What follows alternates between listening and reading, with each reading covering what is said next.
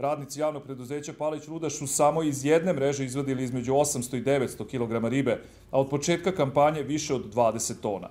Posao se nastavlja u septembru sa još jednom kampanjom izlova ribe, ali su već i dosadašnje pokazale da invazivnih vrsta riba ima mnogo više nego što su to mogli da predvide na početku projekta. Pre početka projekta bila je ideja da će se 50 tona e, babuški izvaditi pa iz Palikog jezera i onda ćemo završiti selektivni izlov.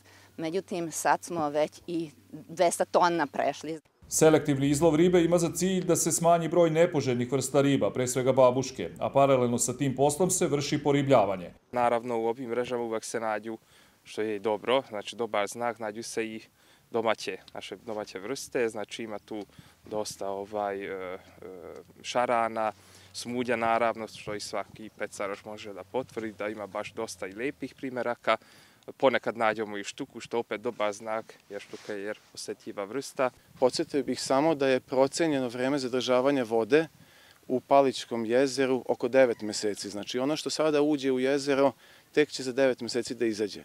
Stoga je potrebno e, sačekati još jedno određeno vreme da se pun uticaj i efekat svih mera koje su bile e, sprovedene u okviru projekta i pokažu u stvarnosti. Voda u jezeru Palić je sve bolje kvaliteta, a to, kako kažu u javnom preduzeću Palić Ludaš, ne potvrđuju samo analize, već i pecaroši, veslači i jedriličari.